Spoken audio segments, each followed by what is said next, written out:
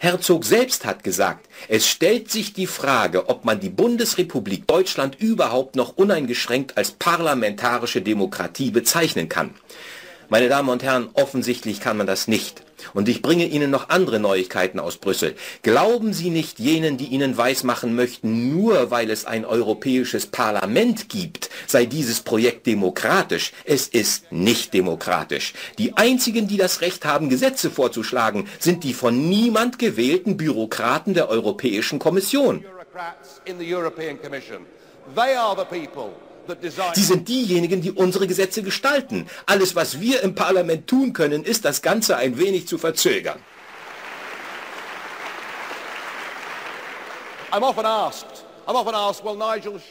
Ich werde oft gefragt, Nigel, was ist zu tun? Natürlich ist es das Vernünftigste und Logischste, die Europäische Union von innen heraus zu reformieren und für eine Demokratisierung der EU zu kämpfen. Die Menschen sagen das und sie meinen es aufrichtig. Aber schon in dieser Aussage kommt eine grundlegende Fehlvorstellung darüber zum Ausdruck, worum es bei diesem Projekt von Anfang an gegangen ist. Jean Monnet, der Urheber von alledem war, hasste die Demokratie. Denn in einer Demokratie wird eine Regierung für vier oder fünf Jahre gewählt und steuert dann in diese oder jene Richtung. Falls sie dann aber bei der nächsten Wahl eine Regierung anderer Couleur bekommen, dreht diese ab in eine andere Richtung. Das gefällt Menschen wie Jean Monnet nicht. Das gefällt diesen großartigen Menschen nicht, die besser als wir selbst wissen, wie wir unser Leben zu führen haben. Nein, diese Menschen haben Pläne für die nächsten 10, 20, 50 Jahre. Sie haben die Zukunft für uns geplant und können es nicht gebrauchen, dass ihnen so etwas Unbequemes wie Demokratie in die Quere kommt.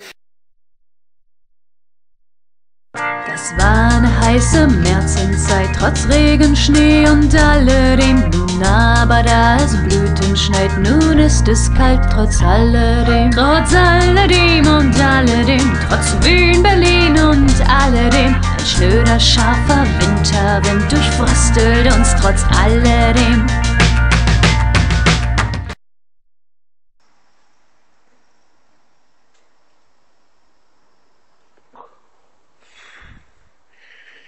Ja, moin YouTube. Oh, die Nacht war echt zu kurz. Also, und ist jetzt ah, halb zehn ungefähr. Und ich scheint ein bisschen das Demo-Fieber gepackt zu haben. Ja, ich habe die Nacht nicht so toll geschlafen. Ähm, nicht, weil ich mir großartig Sorgen machen will oder sowas, sondern eher einfach Vorfreude. Weil heute startet ja in Düsseldorf die eine von den beiden Doppeldemos mit europäischem Zuschlag, sagen wir es mal so. Ja, hier in Düsseldorf haben sich ja neben Philgood auch viele Dampfer aus den Niederlanden mit angesagt, was ich übrigens echt Spitzenklasse finde. Und in Berlin, wo es ja zeitgleich losgehen wird, sind auch viele äh, äh, Dampfer aus Polen und sowas mit dabei.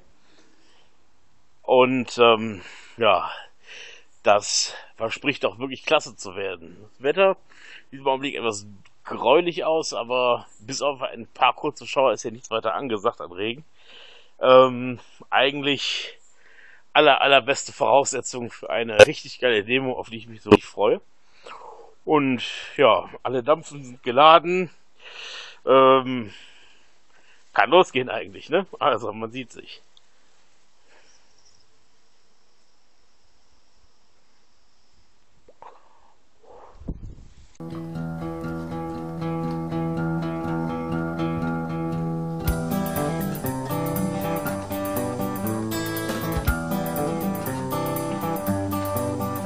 Leben im Grenzland, an der Grenze zur Vernunft.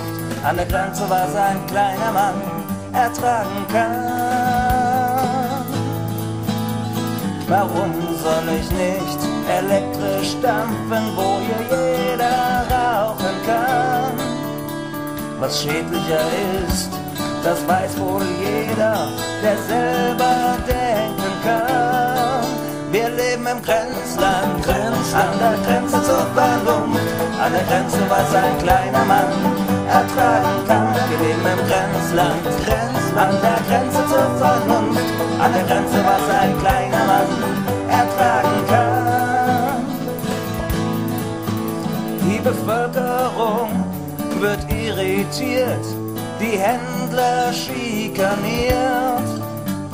Dabei liegt es ja wohl auf der Hand, was gerade hier passiert. Wir leben im Grenzland, Grenzland, an der Grenze zur Vernunft, an der Grenze, was ein kleiner Mann ertragen kann. Wir leben im Grenzland, an der Grenze zur Vernunft, an der Grenze, was ein kleiner Mann ertragen kann. Dem Staat, dem fehlt die Tabaksteuer, der Tabaklobby, der Profit. Die Gesundheit wird als Vorwand benutzt. Blind, wer das nicht sieht. Wir leben im Grenzland, Grenzland, an der Grenze zur Vernunft, an der Grenze, was ein kleiner Mann ertragen kann. Wir leben im Grenzland, Grenzland, an der Grenze zur Vernunft, an der Grenze, was ein kleiner Mann ertragen kann. Einigkeit Recht und Freiheit ist wohl nicht für jeden gleich. Ich denke an Orwells Animal Farm, wie war das denn noch gleich?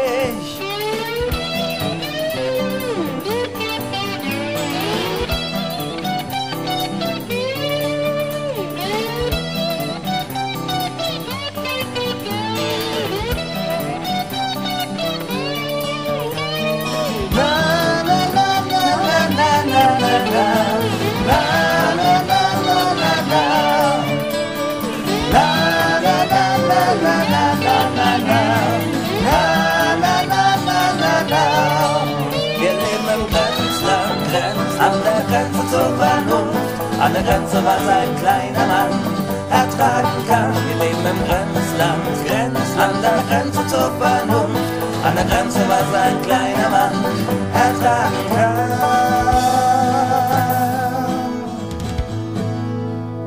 Vielen Dank nochmal, dass ihr alle gekommen seid, dass ihr alle Mut zur Wut habt. An alle hier in Düsseldorf, die nicht wissen, was wir hier machen. Uns geht es darum, wir sind Dampfer und äh, demonstrieren dafür, dass wir weiter dampfen dürfen. Es ist weniger schädlich als Zigaretten, sehen wir auf jeden Fall so. Macht euch schlau darüber.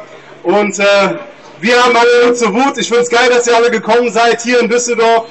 Und ähm, auch nochmal danke, dass ihr meinen Song so gefeiert habt. Ziemlich geil, dass hier so viele Kameras sind und so. Ich freue mich auf jeden Fall. Zu wenig Fotos gibt's nicht. Der Mann mit der roten Mütze da hinten. Äh, ja. Äh, Vielleicht kommen wir einfach mal einmal alle zusammen. Mut zur Wut! Mut zur Wut! Mut zur Wut!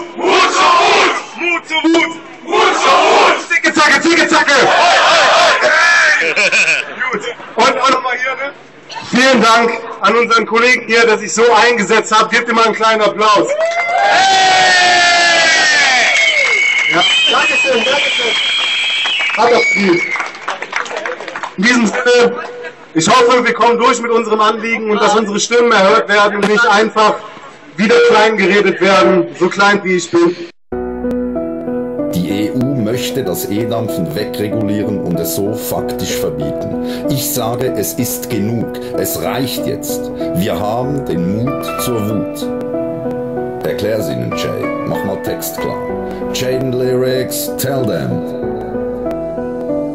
In diesem Track geht es um Freiheit, ich will selber die Entscheidung treffen, was ich aus meinem Leben mache und darum muss ich heute sprechen. Ich habe Mut zur Wut und das aus einem guten Grund. Ich konsumierte zu viel Teer und das war nicht gesund.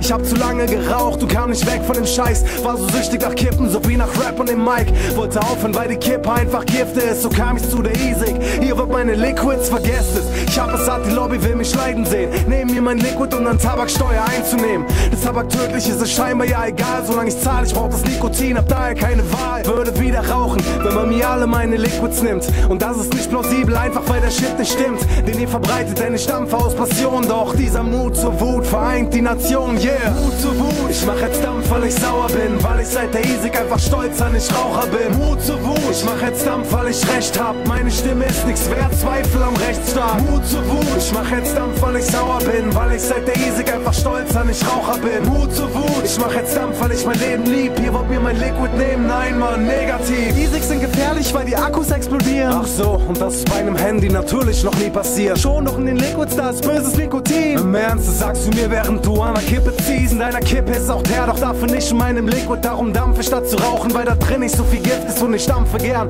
Ich hab auch früher gern geraucht, nimm mir das Vorurteil doch hin, noch geh nicht gerne dabei drauf. Und ich hab Wut in meinem Bauch, wenn man mir nimmt, was mir beim Ausstieg hilft. Der Grund fürs Dampfen ist nicht nur der, weil ich nicht mehr rauchen will. Dampfen ist mein Hobby, ich mische und ich liebe es. Ist meine Bude nach dem Dampfen nicht mehr so vermieft ist. Das Dampfen voll gesund ist, man, das will ich gar nicht sagen. Doch verglichen mit ner Kippe kann die Isig mir nicht schaden. Ich hab Nikotin im Liquid, das auch in deinen Kippen. Was noch in deinen Kippen ist, das willst du gar nicht wissen. Mut zu Wut, ich mach jetzt Dampf, weil ich sauer bin. Weil ich seit einfach stolz an ich Raucher bin. Mut zu Wut, ich mach jetzt Dampf, weil ich recht hab. Meine Stimme ist nichts wert, Zweifel am Rechtsstaat. Mut zu Wut, ich mach jetzt Dampf, weil ich sauer bin. Weil ich seit der Isig einfach stolz an ich Raucher bin. Mut zu Wut, ich mach jetzt Dampf, weil ich mein Leben lieb. Ihr wollt mir mein Liquid nehmen, nein, Mann, negativ. Ich bin tolerant, verdammt. Denn ich gönn jedem seine Sucht. Doch toleriere ich nicht, wenn man bewusst die Leute täuschen muss. Und hier mein Dasein infiziert. Ich bin hier nicht der Parasit. Mit diesem Dasein, das ihr führt, da kommt ihr nicht ins Paradies. Mut zu Wut, ich mach jetzt Dampf, weil ich sauer bin, weil ich seit der Isik einfach stolz an ich Raucher bin. Mut zu Wut, ich mach jetzt Dampf, weil ich recht hab, meine Stimme ist nichts wert, Zweifel am Rechtsstaat. Mut zu Wut, ich mach jetzt Dampf, weil ich sauer bin, weil ich seit der Isik einfach stolz an ich Raucher bin. Mut zu Wut, ich mach jetzt Dampf, weil ich mein Leben lieb, ihr wollt mir mein Liquid nehmen, nein Mann, negativ. Genau so sieht's aus, Jay. Uns bleibt die Wut und der Zorn. Wut und Zorn über diese Politiker, die nur aus Macht- und Geldinteressen handeln und nicht an unsere Gesundheit denken. Der Staat hat kein Recht, dermaßen einschneidend in unsere Rechte einzugreifen. Der Staat hat kein Recht, dermaßen einschneidend in unsere Freiheit einzugreifen. Und der Staat hat kein Recht, dermaßen einschneidend in unsere Gesundheit einzugreifen. Wir sind erwachsene, mündige Bürger und wir wollen selber über unsere Gesundheit entscheiden. Wir haben den Mut zur Wut. Mut zu Wut. Menschen dürfen ihrer Freiheit, Selbstbestimmung und Eigenverantwortung von niemandem beraubt werden. Auch nicht vom Staat und schon gar nicht von der EU.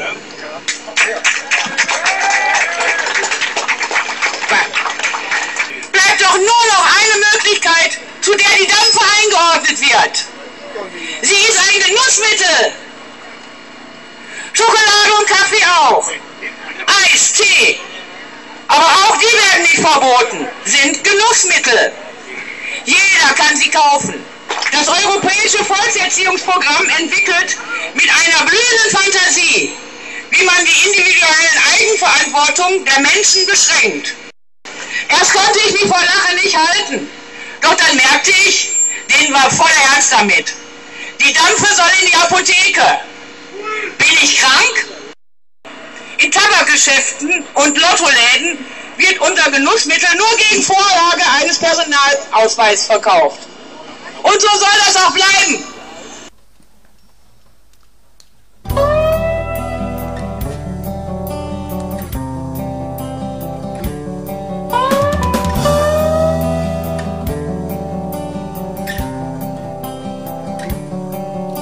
Ich hab lang geraucht und ganz schön viel. Mit 15 war cool sein wohl mein Ziel. Doch es wurde immer mehr, nur noch Sucht und Frust. Nur noch Husten und Zahlen, kein Genuss. Ihr könnt das Dampfen nicht verbieten, bevor ihr nichts bewiesen habt. Ihr habt Angst um eure Tabaksteuer, so ist Vaterstaat.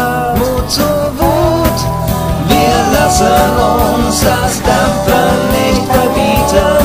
Mut zur Wut, wir lassen uns nicht unterkriegen. Grenzenlos sind die Intrigen, mit denen manche die Wahl verbiegen. Doch wir lassen uns nicht unterkriegen. Hab Mut zur Wut, wir werden siegen. Mut zur Wut, wir lassen uns das Dampfen nicht verbieten.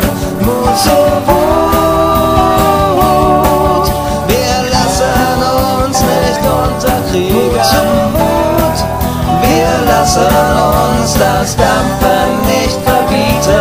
Mut zur Wut, wir lassen uns nicht unterkriegen. England wird das Dampfen empfohlen, auch die Amis sind erfolgreich ins Feld gezogen. Nur in Deutschland tut man sich noch schwer, die Tabaksteuer fehlt so sehr. Mut zur Wut, wir lassen uns das Dampfen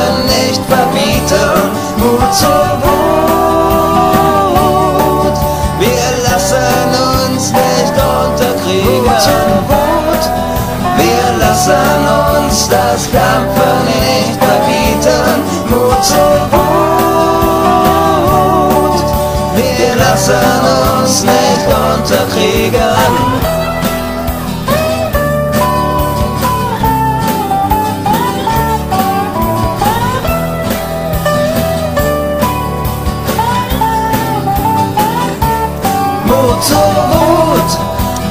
lassen uns das Dampfen nicht verbieten. Mut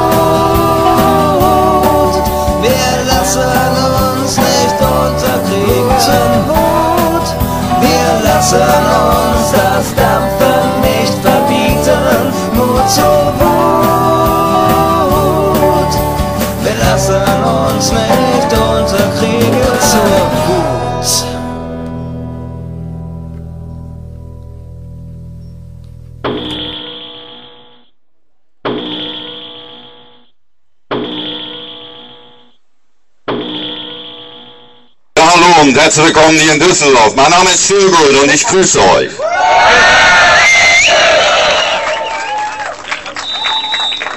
Wir sollten, wir sollten heute nicht hier sein. Guckt euch an, guckt uns an. Wir sind keine Demonstranten. Wir sollten zu Hause sein, mit unserer Familie und unseren Freunden im Garten sitzen. Wir sollten nicht hier in Düsseldorf auf die Straße gehen müssen. Wir sind Lehrer und wir sind Autolackierer. Wir sind Handwerker und wir sind Akademiker. Wir sind Eltern, Mütter und Väter. Wir sind rechtschaffene Bürger. Wir zahlen unsere Steuern. Wir kümmern uns um die Nachbarn. Wir gehen abstimmen. Wir gehen wählen. Wir haben uns um unser Land gekümmert. Wir sollten heute nicht hier sein müssen. Wir sind keine Demonstranten.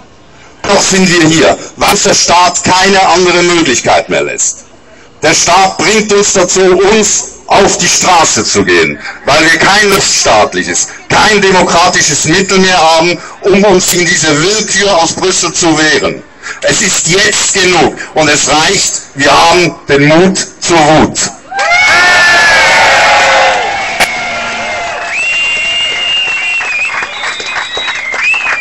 Frau Linda McEvans, Herr Karl-Heinz Florenz, Frau Potschke-Langer, Frau Ministerin Steffens, lassen Sie uns in Ruhe, lassen Sie uns in Ruhe unser Leben leben.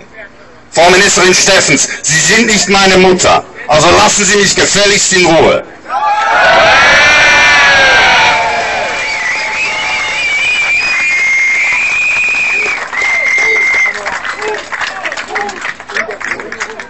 Wir alle haben 15, 20, 25, 30 Jahre lang geraucht. Alle von uns. Wir haben mit den teuren Produkten der Pharmaindustrie Industrie versucht aufzuhören. Wir haben es nicht geschafft. Erst mit der elektrischen Zigarette hatten wir diese Möglichkeit. Und wir alle wissen, wie viel, viel besser es uns gesundheitlich heute geht.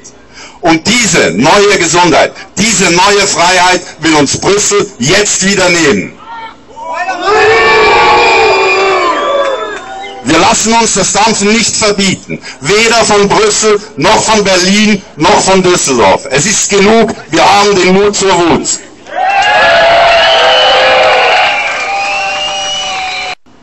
Der Staat hat kein Recht, dermaßen einschneidend in unsere Rechte einzugreifen. Der Staat hat kein Recht, dermaßen einschneidend in unsere Gesundheit einzugreifen. Und der Staat hat kein Recht, dermaßen einschneidend in unsere Freiheit einzugreifen. Wir sind rechtschaffene, ehrliche Bürger und wir wollen selber über unsere Gesundheit entscheiden. Wir haben den Mut zur Wut. Schönen Nachmittag. Macht's gut.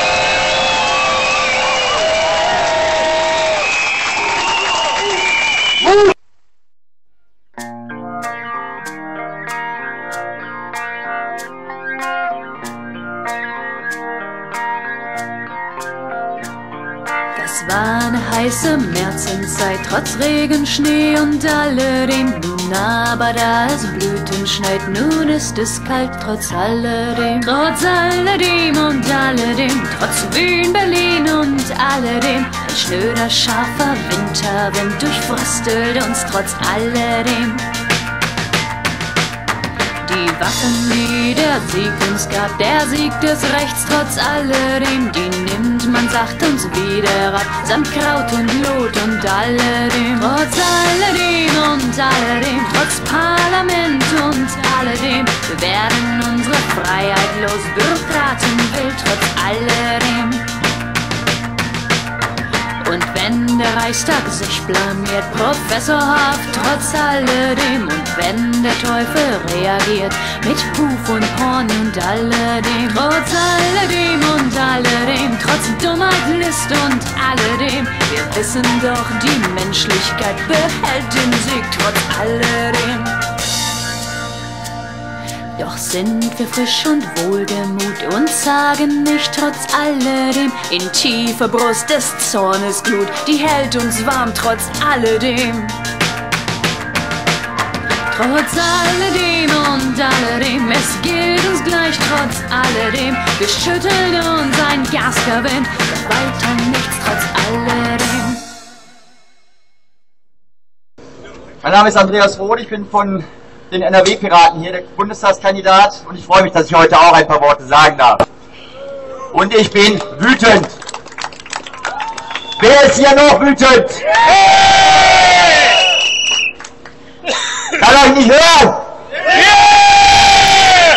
Na also, Ende 2011 wurde ziemlich klar, dass sich unsere NRW-Gesundheitsministerin hier aufmacht auf einen Feldzug gegen die E-Zigaretten.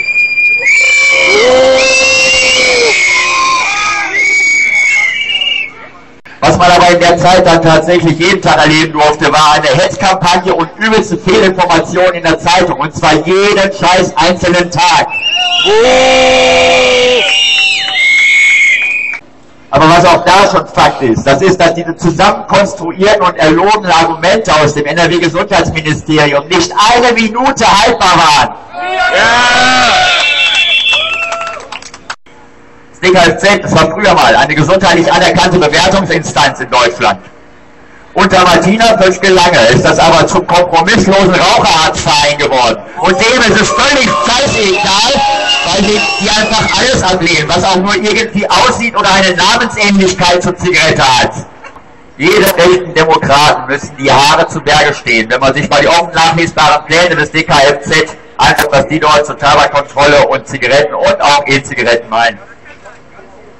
Totalitär halte ich dafür eine freundliche Bezeichnung. Ich wusste Anfang des Jahres überhaupt nicht mehr, wem ich da als erstes noch vor die Füße kotzen soll.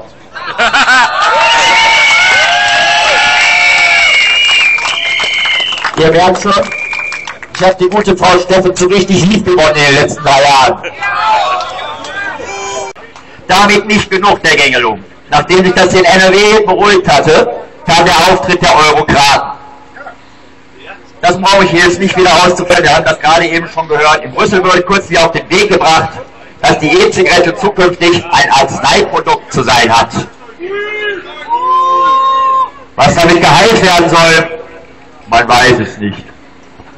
Nur zu gerne will die Pharmaindustrie die Dampfe exklusiv in die Hände bekommen, um sie als überteuerte Apothekenware zum Goldesel zu machen. Und leider auch in Brüssel keine aufrechte Interessenvertretung mehr für Verbraucher zu geben. Das macht mich wütend und darum bin ich hier.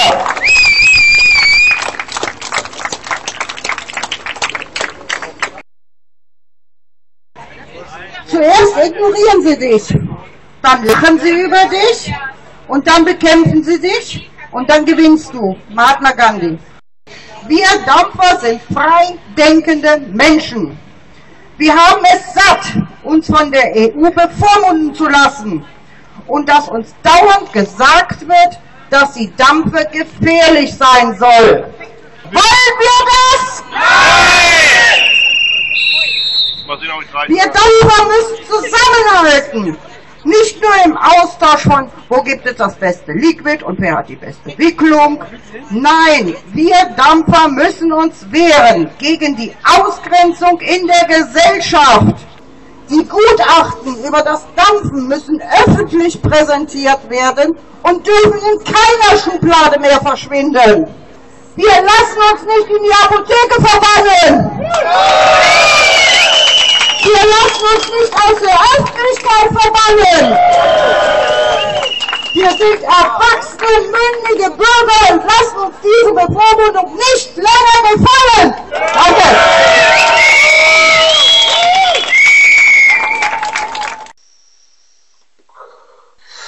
Ja, hallo zusammen. Heute ist Sonntagabend. Ähm, entschuldigt, dass ich kein Video mehr direkt nach der Demo gemacht habe war einfach schließlich dann zu fertig, weil, naja, es gab ja noch die äh, Aftershow-Party in Anführungszeichen, sprich äh, einfach ein Zusammensein mit anderen Dampfern. Das wurde dann doch alles ein bisschen spät. Ja, ich hoffe, euch haben die Bilder von der Demo soweit gefallen. Ich habe mir ein bisschen Mühe gegeben, äh, eher eine Stimmung als nur Bilder einzufangen. Ich hoffe, es ist mir halbwegs gelungen. Ja, was nehme ich von der Demo mit? Also, ich nehme ganz klar Hoffnung mit. Ja. Ich meine, es waren Schätzungen gehen auseinander, aber ich bin mir hundertprozentig sicher, dass es mindestens 600 Leute waren in Düsseldorf. In Berlin spricht man von Zahlen von um die 250. Ist auch eine gute Zahl vor allem für eine erste Demo. Damals in Düsseldorf vor einem Jahr waren es auch nicht mehr. Und naja, bei über 600 Leuten um einen herum hat man das Gefühl, dass es nicht sein kann, dass so ein paar, ja, wie nennt man sowas? Apparatschicks, Eurokraten, Diktatoren, sucht euch irgendeinen Begriff aus, dass es solche Leute einem einfach die Freiheit nehmen können, wenn es wirklich so ist, dass über 600 Leute in einer Stadt für ein Hobby und ein Genussmittel auf die Straße gehen, dann sehe ich für diese Leute schwarz. Und tatsächlich habe ich auch das Gefühl, dass tief in ihrem Innersten wenigstens eine Pötschke Langer und ein Karl Florenz und so weiter es schon wissen, dass sie eigentlich verloren haben. Denn wenn man sich all den Mist, den die erzählen, anhört, merkt man, wie deren Argumente und, und Nebelkerzen, die sie so feierlich in der Öffentlichkeit zünden, immer dünner und fadenscheiniger werden, immer weniger mit Wahrheit und Realität zusammenpassen. Ja, immer mehr Wahrheit und Nachvollziehbarkeit vermissen lassen. Die Luft wird ihnen immer dünner. Und je tiefer sie anfangen, sich in ihrem Lügengebirge einzugraben, desto tiefer sinkt das Niveau ihrer Aussagen. Und das sinkt mittlerweile so tief ab, das Niveau, dass Leute, die mich noch vor zwei Jahren gewarnt haben, dass das hier doch wohl laut irgendwelcher Leute nicht so gesund sein könnte und wer weiß und hm, nicht einmal die glauben noch diese Lügen. Die vermuten auch mittlerweile, dass dahinter Tabaksteuer oder Lobbyismus oder einfach nur die Geltungssucht irgendwelcher hirnrissiger Polizamateure steht. Und diese Leute dampfen nicht. Diese Leute sind teilweise Raucher, teilweise nicht Raucher, aber sie glauben dieser Scheiß, äh, die da verbreitet wird, kein Wort. Und das ändert auch nichts daran, dass die Presse immer noch jeden Mist abdruckt. Ja, jeder noch nicht ganz sauber gewischte populistische Politiker Arsch wird nochmal abgekratzt von der blöden Zeitung, um dann damit noch irgendwelche Seiten zu füllen. Das merken die Leute mittlerweile. Auch Leute, die sich sonst gar nicht mit dieser Geschichte mit dem Dampfen beschäftigen, merken mittlerweile, dass das, was da alles erzählt wird, gar nicht mehr sein kann. Und genau deswegen gehen den Dampfgegnern langsam aber sicher die Gesäßbacken auf Grundeis. Sie haben ja auch keinerlei Handhabe dagegen. Ja, sie versuchen es immer wieder mit dem Arzneimittelrecht. Ähm, ja, den Witz hatten wir so oft schon. Ich frage mich, warum? Ja, die könnten uns ja mal überraschen. Vielleicht kontrollieren wir es demnächst als Kriegswaffe. Wäre genauso sinnlos, aber wenigstens mal überraschend. Es ist schon erstaunlich, inwieweit Leute, die teilweise Doktortitel im Namen tragen, ähm, ihre eigene Glaubwürdigkeit und die Glaubwürdigkeit der Institutionen, der sie vorstehen, der Lächerlichkeit preisgeben, indem sie ja sämtliches grundlegendes wissenschaftliches Denken einfach negieren und irgendwelche ja, obskuren Selbstversuche, äh, blindwütige Panikmache verbreiten, statt ja so zu handeln, wie man es von einem Doktor oder einer Doktorin erwartet. Ja, die präsentieren sich der Öffentlichkeit in einem Maß, das ist doch einfach nur noch peinlich. Aber scheinbar ist das in Ordnung so. Hauptsache, sie können irgendetwas gegen die E-Zigarette sagen. Und das macht mich extrem wütend. Ganz abgesehen davon, dass da in einem Maße in meine und unsere alle Freiheit eingegriffen wird, die ich einfach nicht akzeptieren kann. Ja, wir sind nicht mehr im 16. Jahrhundert, wo irgendein Landesfürst regiert hat, der das Wohl und Wehe seines Volkes zu entscheiden hatte. Die Zeiten sind zum Glück vorbei. Es hat eine Menge Blut und gekostet, damit diese Zeiten enden. Und jetzt wird uns durch irgendwelche selbstherrlichen Kommissionen, mit denen wir ja gezwungen sind zu leben, bestimmt, wie wir zu leben haben. Und dann schleichen sich auch noch diese Politikerfratzen in irgendwelche Foren rein, tun so, als wollten sie uns zuhören und lachen sich wahrscheinlich zu Hause am Rechner echt scheckig, wo sie das lesen. Ja, hahaha. die Trottel werden die sich wundern, wenn wir fertig sind. Ja, und wie ich schon gesagt habe, was am Ende rauskommt, ist das hier für uns. So, und jetzt kriegt ihr alle, die uns da meint, verarschen zu müssen, 600 davon zurück. Aus Düsseldorf und 240 aus Berlin. Kommt von Herzen. Und die größte Dreistigkeit finde ich ja noch, dass dann auch noch die Leute ankommen, die uns vorher verarscht haben und meinen, wir könnten noch einen drauflegen und erzählen uns, ihr müsst keine Angst haben, jetzt haben wir euch zwar das Liquid zum Arzneimittel erklärt, obwohl uns alle Welt schon gesagt hat, dass das nicht geht. Aber das machen wir jetzt einfach und na, keine Angst. Wir, könnten ein frei verkäufliches Arzneimittel draus machen. Den Leuten, die das erzählen, sage ich jetzt mal ganz im Ernste, ich traue euch nicht weiter, als ich euch durch die Wand hier schmeißen könnte. Und die Kommission hat nun mal auch nichts mit der Einteilung des Arzneimittels in frei verkäuflich oder nicht frei verkäuflich zu tun. Also, warum versprecht ihr euch schon wieder Sachen, die ihr gar nicht einhalten könntet? Einfach weil ja, ihr schon einmal so schön in der Übung seid. Da fällt das Ganze recht einfach, nicht wahr? Aber auf der anderen Seite muss man euch natürlich auch dankbar sein. Ihr zeigt mal richtig den Massen an Leuten, wie geil ihr uns immer wieder verarschen könnt. Hm? Weiß ich, äh, auf der Demo abends hat mich dann wieder ein Dampfer angesprochen und gesagt, hör mal, seit ich dampfe, weiß ich, wie sehr mich der Staat verarscht. Vorher habe ich das gar nicht gemerkt, aber jetzt sehe ich es überall. Und ja, mir geht's genauso.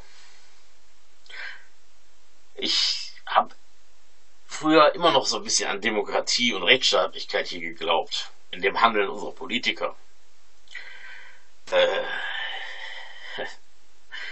seit ich dampfe, ist das Stück für Stück für Stück abgegraben worden. Ja, und jetzt glaube ich den Politikern einfach gar nichts mehr. Ist so. Wenn uns bei so einem eigentlich unwichtigen Kram verarschen, wo sollten sie dann die Wahrheit sagen, wenn es mal wirklich wichtig ist? Aber ich denke einfach, dass in diesem Fall die ganzen Politiker und Lügenmärchen zu spät gekommen sind. Und das, glaube ich, wissen sie auch. Ja, sie haben zigmal es geschafft, die rauchlose Zigarette zu verbieten. Ich verlinke euch ein Video von Megan Merlin dazu. Das zeigt die da in dem Video ganz klasse.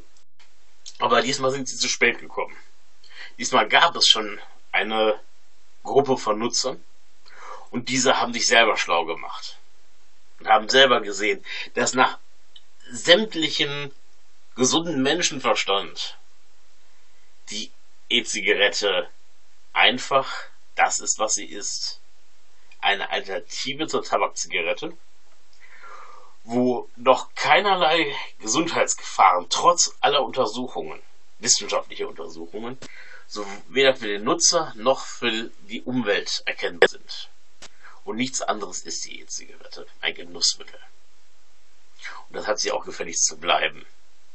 Und wenn sich irgendjemand in dieser Envy selbst verwirklichen will, durch Eingriffe in unsere Freiheit, dann sage ich, such dir was anderes. Ja, geh stricken oder paddel durch den Ärmelkanal, keine Ahnung, irgendwas.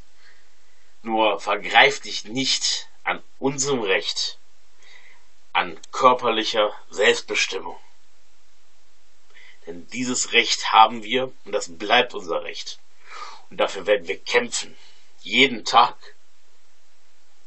Mit allen Mitteln, die uns zur Verfügung stehen.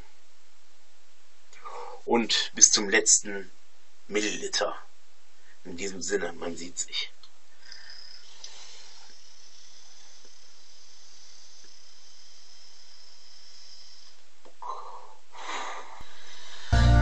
Doch sind wir frisch und wohlgemut und sagen nicht trotz alledem in tiefer Brust des Zornes Glut, die hält uns warm trotz alledem.